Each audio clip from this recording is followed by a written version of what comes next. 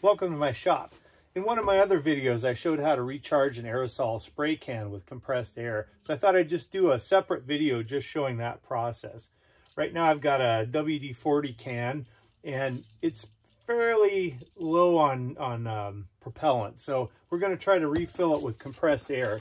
I've done this before and it works pretty well. I've got my compressor set at 50 PSI, so we don't want to overfill this thing. I think some can go up to 100 or so, but I don't need to push my luck with these things. Some cans are rated for different pressures. So the principle is I've got this rubber tip that will engage with this nozzle here. And if I'm supplying compressed air at a greater pressure than what's in the can, it's going to go into the can.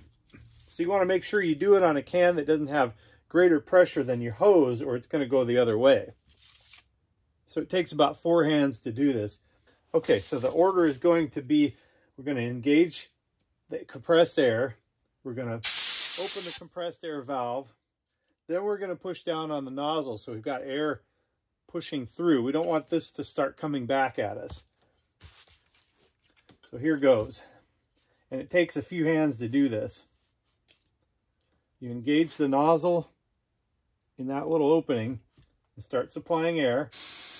Then push down on the aerosol can to let the valve open and let the air in. You'll hear it gurgle.